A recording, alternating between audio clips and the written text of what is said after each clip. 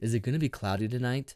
That's the question all of us Milky Way photographers ask every day. But who do we ask? Is there an oracle that tells us whether it's going to be cloudy? Well, I'm Aaron King from Photog Adventures, and today on Astro Photog, I'm going to tell you about two of my favorite oracles for telling you whether it's going to be cloudy.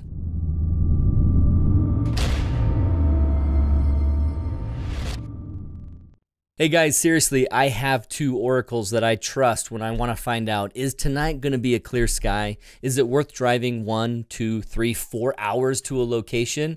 Well, my two favorite sites are cleardarksky.com and clearoutside.com. So let's talk about both of them and how you need to use them as a Milky Way photographer. So here we are at cleardarksky.com first. This is my personal favorite, but it only works for those of us living in the United States, parts of Mexico, and Canada. And so if you live outside of these areas, this is not going to be terribly useful for you, but you can use it when you come visit me in Utah and come do Milky Way photography. So what you want to click on here is Clear Sky Charts go down to your area, Canada, Mexico, or even Bahamas, it looks like, and go to your state in Utah. And then I would, you could look at it this way and quickly see from these colors, okay, where's a good area? So if you need to look for an area that has good clear skies and you just want to quickly browse and you're like, you know what, I'll go anywhere in the state to make this happen. You can look at it from this perspective, but usually you have a location in mind and you want to go there. So I click on the map. And here on the map, let's say I want to go down to Capitol Reef. And in Capitol Reef, looks like I have two options to use. I can use this map cover, or this pin right here that shows information from a weather station there, or this pin. Usually you have just one option, and it's covering a lot of area around it. But don't worry, you can really check against multiples if you want to be particular. Otherwise, just check the location you want to go and be cool with it. Middle of Fruita, Fruita? Why not? Because uh, this is Capitol Reef National Monument. It's actual weather station there. That's the one I would check. So what am I getting from this information? What do you actually need to know? Well, it's showing you cloud cover, transparency, seeing, darkness, wind, humidity, temperature. Well, for this purposes today, let's only focus on the two things that are vital for you in Milky Way photography. And the first thing is cloud cover. And these colors right here, darkest blue is good. That's all you need to know. If it's going to have a bunch of white sections, then you know, okay, there's clouds. And you can, and so you look at this and go, well, I'm going to go tonight to Capitol Reef. Should I do it? Oh my gosh, okay, yeah, it's completely dark blue all the way to midnight and it starts getting cloudy. So about 1 or midnight or 1 or 2 a.m., it starts coming into some clouds. And so I could still do something then, but when it starts getting to that point where you have a couple hours between the clouds, start to think that, you know, this could be two hours late on its predictions and I could get there and have something block me. So just know that that could happen, but don't hold back from going. Almost every time when you see a sky like this and you go, you're glad you did. When you see entirely white, then it's definitely don't bother. Don't bother going. So, what's the second factor in this that you need to focus on? It's darkness. And right here, you can see the darkness as it goes from a light color of actual white to yellow, orange to blue. All these twilight periods are displayed here. So, the twilight periods are lighter blue colors, and then it would go to black if there was a new moon. But the reason why these few squares actually have some blue color and then gradient into dark black, dark blue, it's because the moon is still up.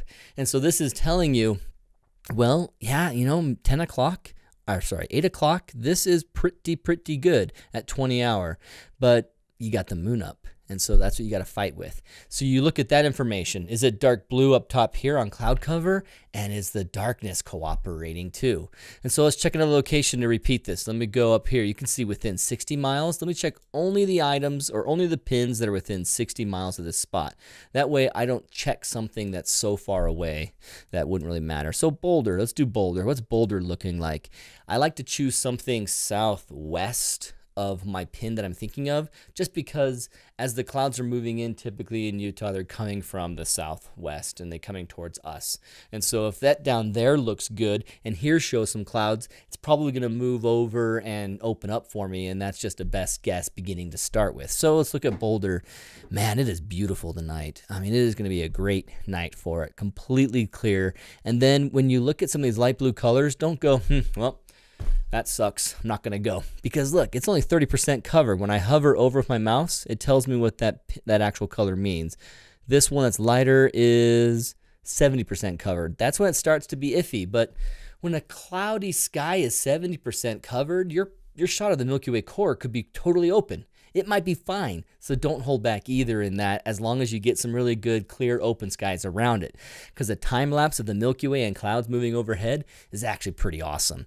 So then it looks, you look at this and say, well, when the time the moon sets are right around here and I have best skies possible, I start to see some clouds but it's 30% covered. That's worth the risk. I'm going out tonight.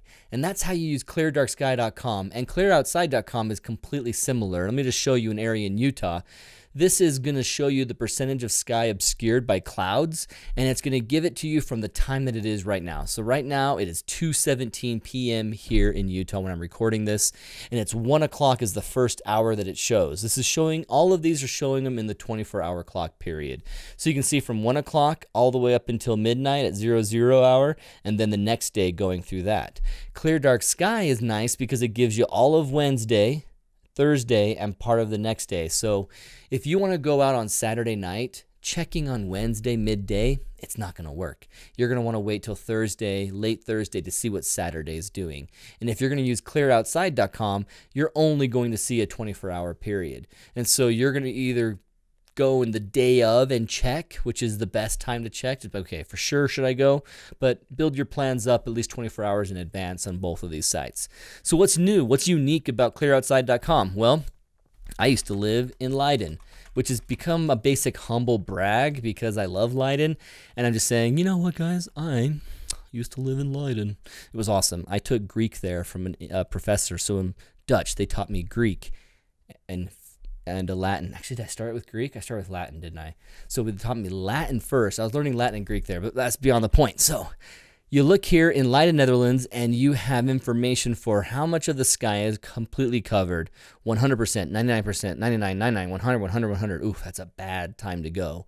But then Clear Outside has an extra feature that is awesome, and this is going to help you the most with sunrises and sunsets because it tells you about the low clouds, medium clouds, and high clouds which means you have a lot of high clouds at sunset or sunrise, you're going to see pre glow and afterglow like crazy because the sunlight at that oblique angle is going to be hitting those clouds and lighting up your terrain. So, knowing that you have high clouds, awesome. Now, high clouds are also not so bad to block your Milky Way either. If the most of your clouds are all happening in the high, there's a chance it's wispy and thin enough that you can get a good shot too, as long as these other ones are showing promise. And if you see some open areas, if you see something like this where it's practically 100% covered and they're just high, I still wouldn't go just because you've got a pretty full sky of clouds. It's just, it's not going to be that great.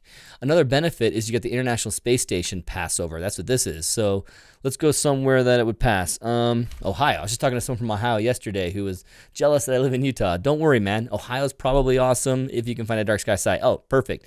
There's an International Space Station flyover right here at this time, which is 7 o'clock which is important to know that it's 7 o'clock because the best time to see the space station is when it's over the horizon and the sunlight is still hitting it, but you are in dark. And so 7 p.m., it's just set, sun has just set, but it's still going to have the light hitting the International Space Station. And there it is, it's visible. So for those of you guys living in Ohio or Peru Township, Ohio, you can see the International Space Station tonight. So check it out. So this is giving me information about the clouds total. You just kind of focus on this right here and you've got enough information, but you can also break it down by medium, high, low. There's a lot more information that's on here that we don't need to go into today, but if you want to check out my Milky Way photography course, I go into these other aspects of these sites and fully teach you how to benefit from them for all means of doing astrophotography when you're out there. So thanks guys for listening. Thanks for watching. Let me know if you have any questions down below. And hey, if you feel like hitting the thumbs down button, can you at least tell me why? I'm really curious whenever I hear why. Maybe my focus was crap like it was a couple videos ago and that's what you hated. Or maybe you hated the entire content and then i can't do anything about that for you. So let me know and if you guys enjoy this video please subscribe. We're really enjoying growing up past 4000 and we appreciate all of you subscribing. So see you guys later. I'm Aaron King with photog adventures and thank you for watching. I don't know why i did this.